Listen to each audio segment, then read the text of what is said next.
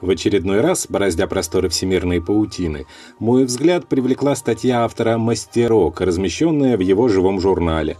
Посвящена она заболеванию, которое вызвало, пожалуй, самую массивную пандемию, зафиксированную за всю историю человечества – испанскому гриппу или испанке. Думаю, многим будет интересно заглянуть в историю столетней давности, особенно в свете недавних событий, произошедших в этом году. Итак, куда пропала испанка, убившая миллионы? Здравствуйте, мои хорошие!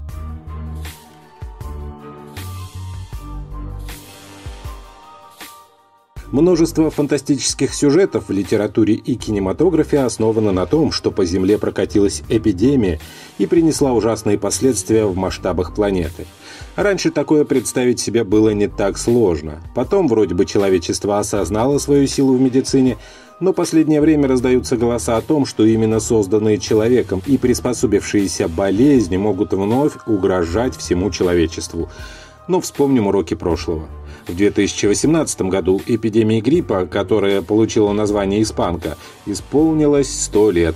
В свое время это страшное заболевание сгубило больше людей, чем две мировые войны. И это всего за год. По приблизительным подсчетам, в начале 20 века от этой опасной формы гриппа погибло от 50 до 100 миллионов человек. Затем испанка внезапно исчезла, как будто всего лишь выполняла свое предназначение, и до 1997 года о ней никто не слышал.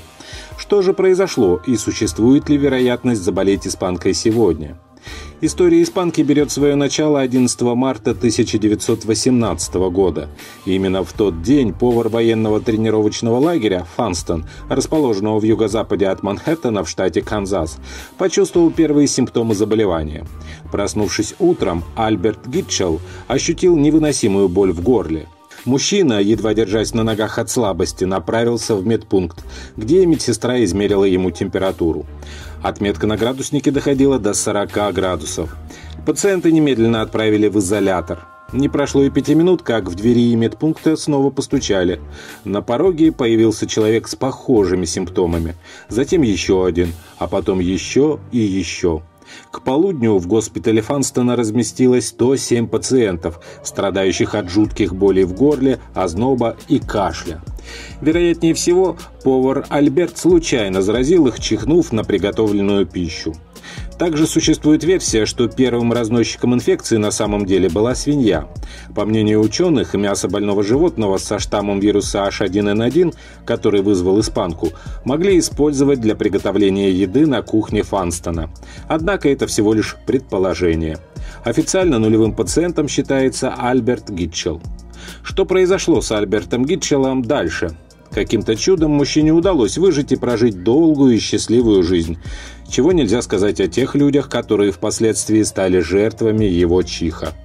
Только в 60-х годах исследователям наконец удалось подсчитать количество жертв и роль эпидемии в уничтожении человечества.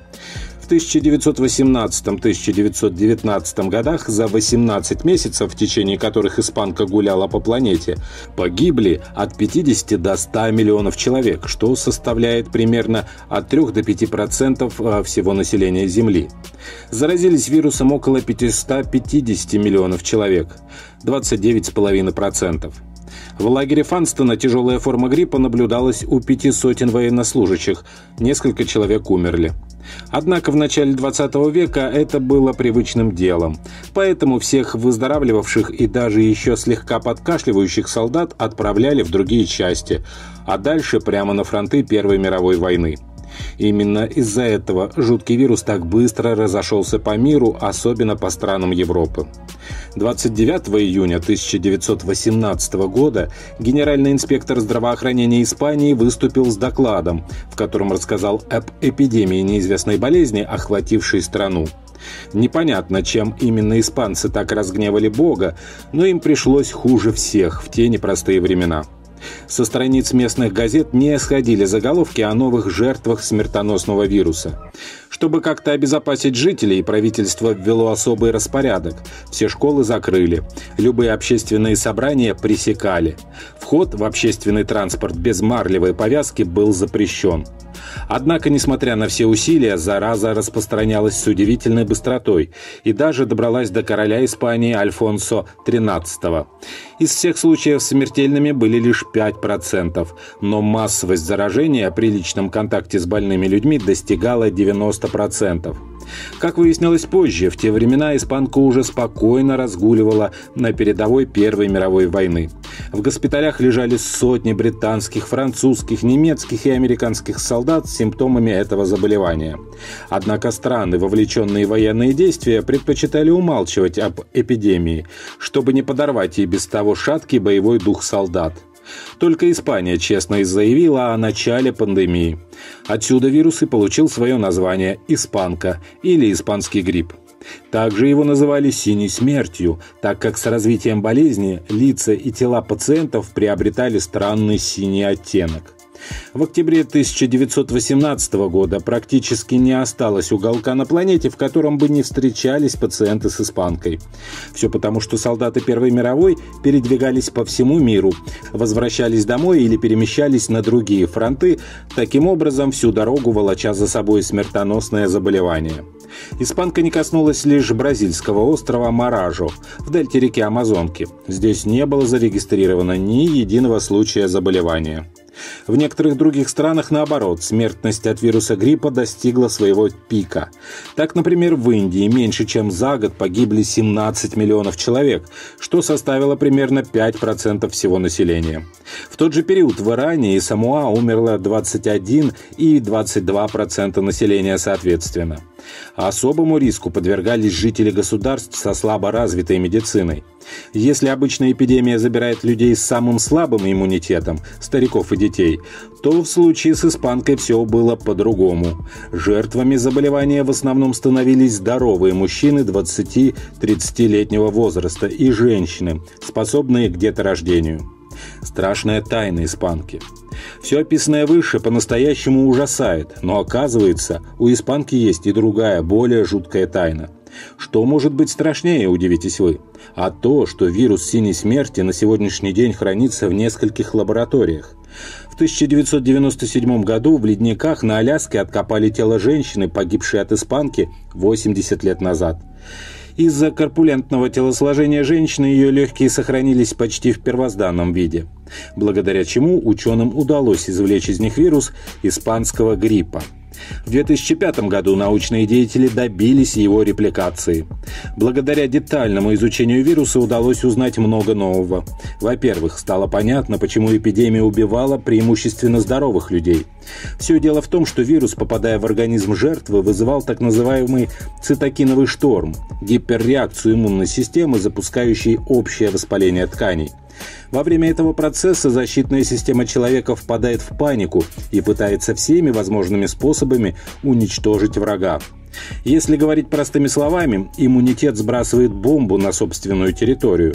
И если у людей с сильным иммунитетом в арсенале хранится ядерное оружие, то у больных и слабых старые гранаты и пушки с холостыми патронами. Примерно то же самое происходит с больными на поздних стадиях вируса Эбола. Однако это заболевание становится заразным только при появлении его первых симптомов, а испанка, как и обычный грипп, может распространяться за несколько дней до того, как у ее носителя появятся признаки недомогания. Неудивительно, что всего за 18 месяцев этому оружию удалось вырезать под корень самую здоровую и жизнеспособную часть человечества. Смертоносная мутация – Вопрос, волнующий большинство читателей, как и почему обычный вирус гриппа мутировал в такую смертоносную форму. По мнению вирусологов, основной причиной послужила Первая мировая война – в стандартных условиях вирус гриппа распространяется медленно и не слишком травмирует своего носителя, чтобы тот мог спокойно ходить на работу, учебу, за покупками в магазин, ездить в общественном транспорте и жить обычной жизнью, даже не подозревая, что при этом заражает десятки окружающих людей. Но тогда на передовой ситуация была совсем другая. Заболевание никак не влияло на социальную активность пациентов, они в любом случае воевали и перемещались по фронту. К тому же вирусу пришлось столкнуться со здоровыми и сильными солдатами, закаленными в боях. Какой смысл мариновать противника, если он запросто может умереть от вражеской пули или другого заболевания? Именно поэтому испанка действовала сразу и быстро, заставляя иммунную систему кричать от ужаса. Вероятнее всего, супервирус сам привел к исчезновению среды, которая его породила. По мнению большинства историков, именно испанка послужила завершением Первой мировой войны. Изможденные армии всех стран вынуждены были заключить перемирие, так как солдаты были не в силах противостоять сопернику. Эффективные санитарные меры, изоляция больных и вымирание наиболее предрасположенных к испанке возрастных категорий населения привели к повсеместному затуханию эпидемии. Однако сразу же после возвращения солдат с передовой некоторым странам пришлось очень непросто, ведь вместе с собой они забирали на родину и смертоносный грипп. В конце этой статьи хотелось бы ответить на еще один волнующий читателя вопрос.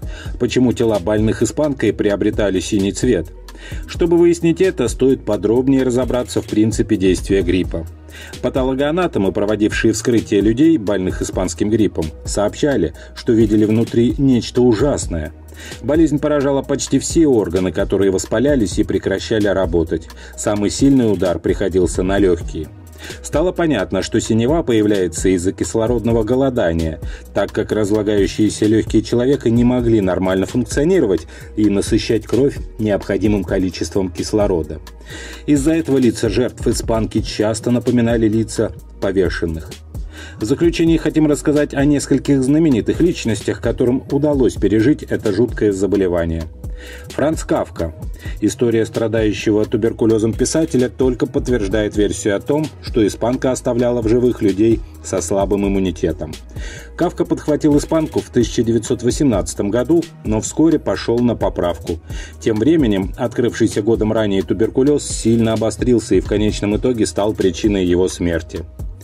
Эдвард Мунк, автор знаменитой картины «Крик», переболел испанкой, когда ему было 55 лет – Опять же, норвежский художник был обладателем довольно хрупкого здоровья, но смог выздороветь и дожить до 80 лет. Уолт Дисней. В свое время испанка, можно сказать, спасла жизнь известного мультипликатора. Когда мужчина подхватил инфекцию, он как раз готовился отправиться на фронт, но из-за резкого ухудшения состояния здоровья оказался в госпитале. Окончательно вылечившись, Уолт Дисней обнаружил, что война уже закончилась. Лиля Брик, Доподлинно неизвестно, болела девушка испанкой или это был обычный грипп. Однако существуют письма, которые наталкивают историков на эту мысль. В одном из таких Маяковский писал своей возлюбленной «Лиска, личика, лучик, лиленок, луночка, ласочка, лапочка, деточка, солнышко, кометочка, звездочка, деточка, детик любимая, кисонька, котенок, целую тебя и твою испанку. Вернее, испанца, потому что испанок я никак целовать не хочу. Посылаю тебе всякую мою ерунду. Улыбнись, котик. Стройная история происхождения, развития и прекращения эпидемии инфлюенции 1918 года – это всего лишь самая популярная на сегодняшний день гипотеза. Существуют ученые, которые, к примеру, считают, что грипп H1N1 к моменту появления в американском лагере Фанстон уже пару лет разгуливал по планете. Он зародился в отдаленной провинции Китая и был занесен в Европу китайскими наемниками, которые работали на строительстве французских военных укреплений. А есть и такие специалисты, которые утверждают, что испанка отнюдь не закончилась зимой 1918 года.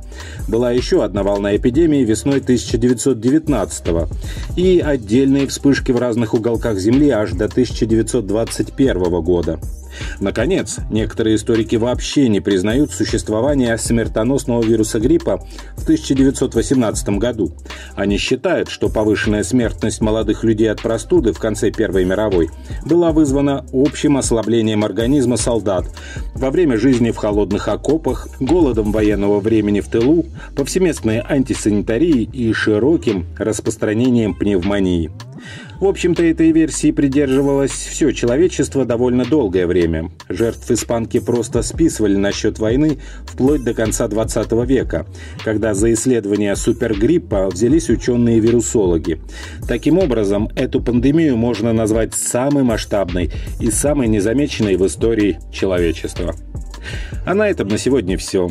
Ссылку на озвученную статью и профиль автора «Мастерок» в живом журнале вы можете найти в описании к этому видео. Не болейте, берегите себя и близких, ставьте пальчики вверх, подписывайтесь на канал «Доктор по соседству» и, конечно, не забывайте заходить в наши паблики в социальных сетях ВКонтакте и Одноклассники, где каждый день выходит масса полезной и интересной информации из мира здоровья и медицины. Здоровья вам!